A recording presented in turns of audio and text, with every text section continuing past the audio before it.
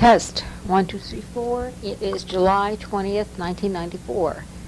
And um, by, um, well, uh, great good happenstance, I'm going to go over and talk to, interview, whatever, Mr. Lee tomorrow, who um, was my uh, first major organ teacher at the University of Delaware.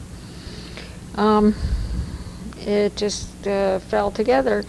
And uh, when I was trying to test out this tape, I couldn't get it to record, and I asked Robin, who was strolling through. She said, "Well, put tapes on the um, um, the the like the holes that had been cut out because this is the Mitchell Hall uh, organ tape that I made when I was 18 years old, and it's one of the last two existing